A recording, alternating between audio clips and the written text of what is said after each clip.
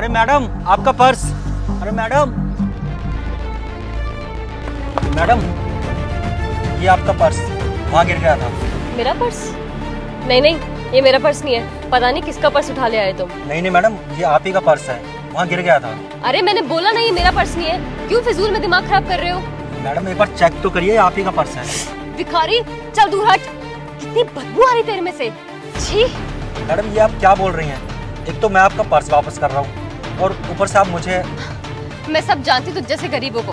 इसमें पक्का तेरी कोई चाल होगी मुझे लूटने की अब निकल यहाँ से वरना मैं पुलिस को बुला दूँगी और तेरे लिए ना अच्छा नहीं होगा।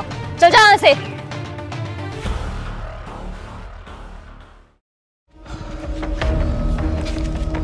यार एक बात समझ नहीं आई। ये पर्स उन्हीं मैडम का था लेकिन वो वापस क्यों नहीं ले रही? कहीं कुछ गड़बड़ तो नहीं है? एक बार खोल के चेक करता हूँ। ये क्या? इसमें तो बहुत सारे पैसे हैं। और इसमें चिट्ठी भी है। एक बार पढ़ के देखता हूँ क्या लिखा है। देखो, इन पैसों को कहीं फिजूल में खर्च मत करना। इन्हें कहीं अच्छी जगह देख के इन्वेस्ट करना। किसी से कुछ मांगना अच्छी बात नहीं होती। जो किसी दूसरे से पैसे मांगते हैं, उनकी कोई इज़्ज़त नहीं होती। हमेशा याद रखना। मेहनत में ही बरकत है। चिट्ठी में लिखा है कि बेफजूल पैसे खर्च ना करो। कहीं ऐसी जगह इन्वेस्ट करो कि ये पैसे डबल हो जाए। लेकिन मैं ऐसा क्या कर सकता हूँ कि जहाँ ये पैसे डबल हो जाए? हेलो। भैया भैया पेन ले लो। नहीं चाहिए। ले लो ना भैया सिर्फ़ पाँच रुपए का है। मना किया ना नहीं चाहिए। चल चल यहाँ से। भैया भैया पेन ले लो। कितने का दिया? पाँच रुपए का एक है। एक काम कर दो दे दे।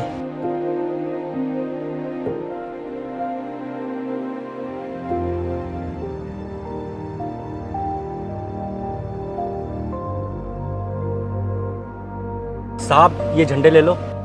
अरे तुम तो वही हो ना जो पहले भीख मांगा करते थे? हाँ साहब। देखो ना कितने अच्छे लग रहे हो तुम मेहनत करते हुए। भीख मांगना कोई अच्छी बात नहीं होती है। और जिसने भी तुम्हें ये मेहनत करना सिखाया है ना हमेशा उसका शुक्रिया अदा करना। वैसे ये झंडे कितने के हैं? दस रुपए का एक है।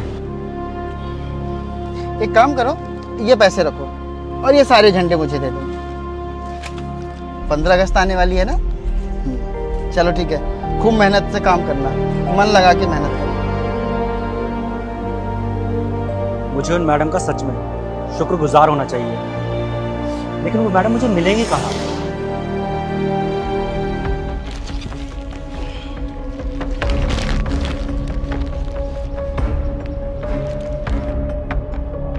भैया ये आपका पार्सल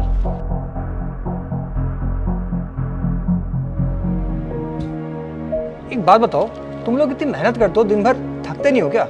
क्या करे साहब किसी ने मेहनत करना सिखाया है इसलिए मेहनत करता हूँ। चलो बहुत अच्छी बात है। ऐसे मेहनत करते रहो भगवान एक दिन तुम्हारा ज़रूर साथ देगा। वैसे एक बात तो है आज तुम लोगों की वजह से ही घर बैठे हमें हमारा सामान मिल जाता है।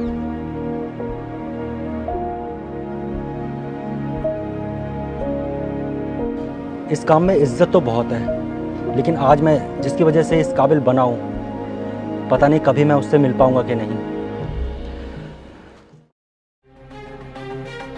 भैया एक जूस दे दो। अरे मैडम आप और मेरी दुकान में?